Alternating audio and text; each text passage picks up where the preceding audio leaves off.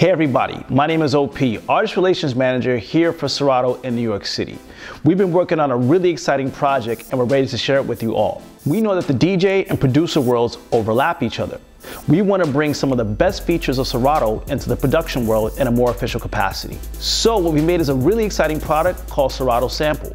It's a sampler plugin that works with Ableton, Logic, FL Studio, and Maschine. So you may ask, why is Serato Sample any different than any other sample sampler on the market? Well, here are a few reasons why. At its core, Serato Sample utilizes quick and easy cue point triggering workflow, which has been made famous by Serato DJ. With Serato Sample, we've improved this workflow by adding a bunch of new things, which makes it really easy for you to create your beats. In Serato Sample, you can find samples instantly using the auto set feature. You can use different modes inside of Serato Sample to cycle quickly through your song to find different parts to use using our unique algorithms. So you can't find a good part to chop up? Use the random feature. Want to find all those nice open parts throughout the song? Use Find Samples. Want to chop up a drum break? Use the slicer.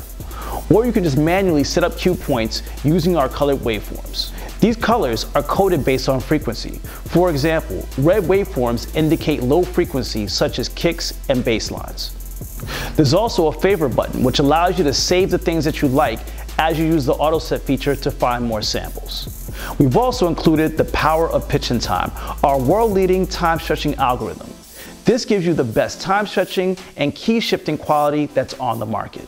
So you want to slow down or speed up your tracks in huge amounts and still have it sound good? Now you can using pitch and time. You also get Serato's accurate key detection and key shifting built in. So, if you don't know the key of your sample or you're trying to make the sample sound good with your project, load the sample into Serato Sample and it'll tell you exactly what key it's in. Once it's in Serato Sample, you can change the key to whatever you want it to be and not lose any quality. You can also use completely different parts of songs by matching them together by key.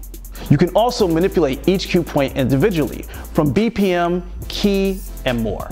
And when you're ready to record your cue point sequence, you can treat it just like any other MIDI instrument.